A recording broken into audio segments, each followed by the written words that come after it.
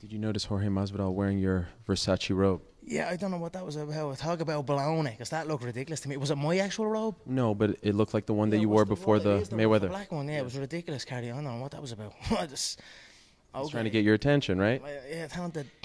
I don't know. What's that's a bit weird. I don't, I don't give a. Yeah, whatever.